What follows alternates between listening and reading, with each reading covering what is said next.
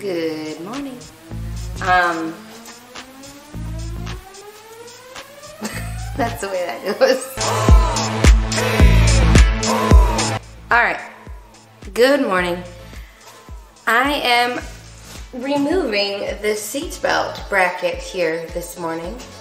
And I've got my handy dandy tool. I'm using a five, no, 15 millimeter socket. And then I'm very happy to take this out and replace this seat because I didn't mind that it was mounted to the wall, but um, it was riveted up here where the ceiling, not every school bus has them mounted this high.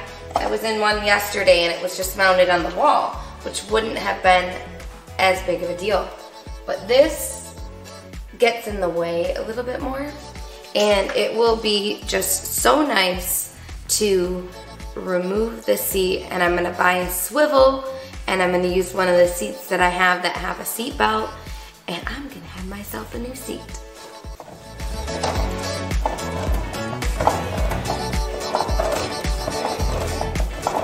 This cover kind of just popped off here. You lift, there was the cover on here and it just lifted up, by the way. Just so you know. Now it's loose enough that I can turn it to the side, get this the rest of the way out.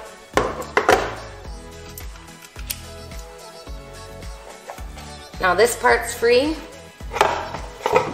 We turn our attention to this. Now, this can slide up and kind of get out of the way. And I was hoping I could reach these bolts behind here, right there.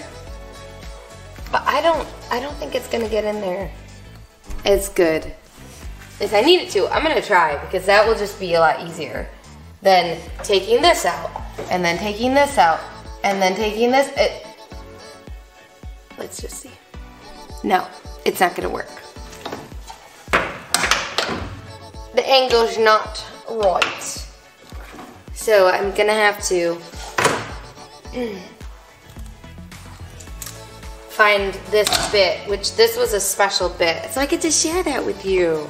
Because I've taken this down before.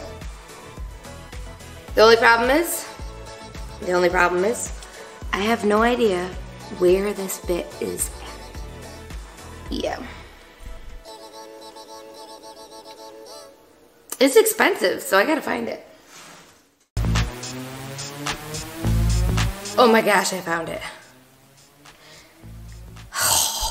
You guys, my garage is so unorganized right now. I'm trying to keep it organized, but like, yeah. Okay, here it is. This little guy was hiding in a bucket and of one of the many buckets that I brought in here when I was doing stuff and just tossed it in a bucket. Yeah, not a good idea. So I need this little, okay, I don't know the names of things, but this is the little socket thing that goes in your drill. So you put in your drill. And then you put that little socket thing in there. And that one is a T50. Now everyone, yours might be different. Okay, yours might be different. Mine was a T50 and you go to the hardware store and you tell them that you need something for seatbelt removal um, they will probably direct you to a T45 or a T50, and that is how I found this guy.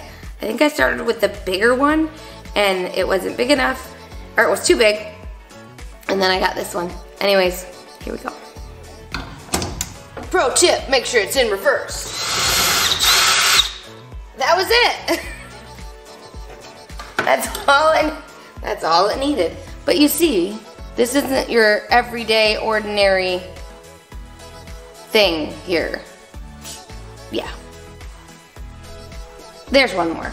So, right, I had to slide this down and, and, and, get, and get this one.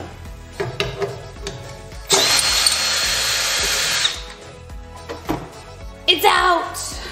Well, there's the seatbelt, but I still have this to remove, which I don't know what that is exactly size. And then these bolts back here. And this is where it was riveted, which I removed when I took out the ceiling. I'm going rogue.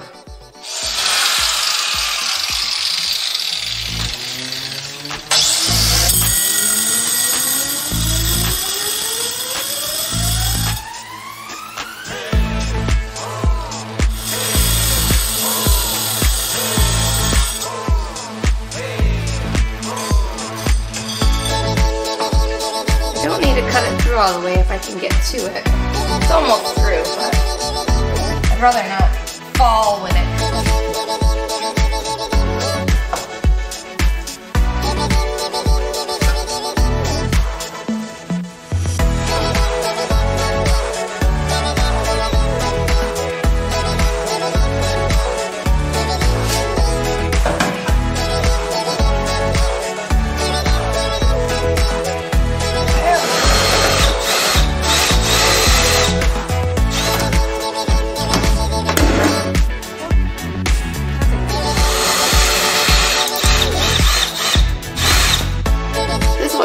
was 14 millimeters.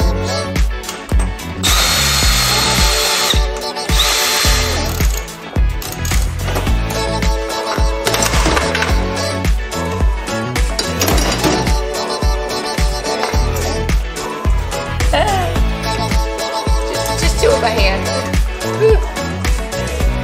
Nothing fell